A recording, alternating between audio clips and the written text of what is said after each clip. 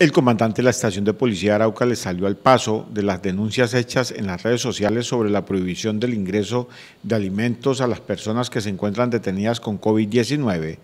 Los internos cuentan con las medidas de bioseguridad. Eh, es una situación pues eh, un poco compleja por el tema del virus, pero estamos eh, tratando de sobrellevar todo ese tema de la mejor forma y dándole unas condiciones de vida eh, digamos, eh, importantes a esas personas que se encuentran privadas de la libertad a través de diferentes actividades como lo son medicaciones que se han entregado, como tapabocas, algunas eh, tomas, muestras de parte de la unidad de salud. También la Cruz Roja nos ha acompañado activamente, hemos fumigado también y hemos hecho una serie de actividades para que estas personas que se encuentran ahí privadas de la libertad eh, logren una pronta recuperación, que es el objetivo final. El comandante de la estación de policía de Arauca aclaró que todos los elementos de bioseguridad han sido ingresados por sus familiares y hasta los remedios caseros. No se trata de no dejar ingresar esos tipos de elementos, como lo manifestaba ayer eh, eh, una persona por redes sociales, digamos, tratando de desviar la atención de lo que realmente es importante. Acá lo que tiene que tener clara la ciudadanía araucana es lo siguiente, todo lo que tiene que ver con elementos de bioseguridad han sido ingresados en pro y beneficio de las personas que están privadas de la libertad. También se le han hecho ingresar panelas, limones, eh, toda esa serie de remedios caseros en pro de la mejoría de esas personas que, que mantienen esta situación dentro de las instalaciones.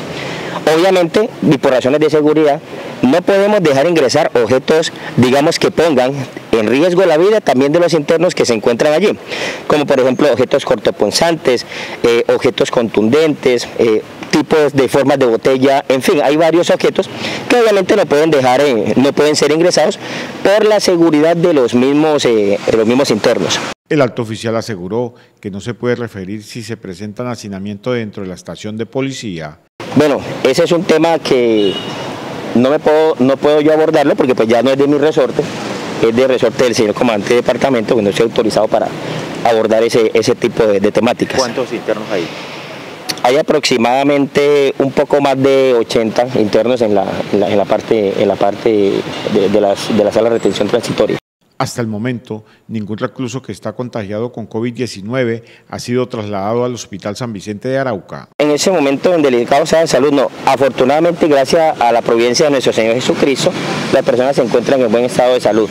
Eh, a través de, como lo dije anteriormente, de, las, de los remedios que se le han ido ingresando, las medicinas también de que le han sido proveídos, y también eso aunado a los equipos de bioseguridad o los elementos de bioseguridad con que han estado siendo dotados eh, eh, constantemente. Los patrulleros de la Policía Nacional en la estación que prestan la seguridad a los internos tienen todos los elementos de bioseguridad.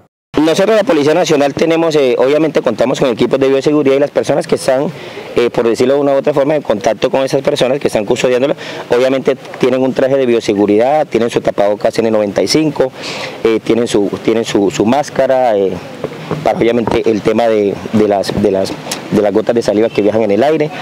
Tienen toda una serie de equipos de bioseguridad instalados o los usan para tener contacto con esas personas y respetando siempre los protocolos que están establecidos por la unidad de salud. Los reclusos son atendidos por el personal médico que están disponible por el IMPET y la Unidad Administrativa Especial de Salud de Arauca.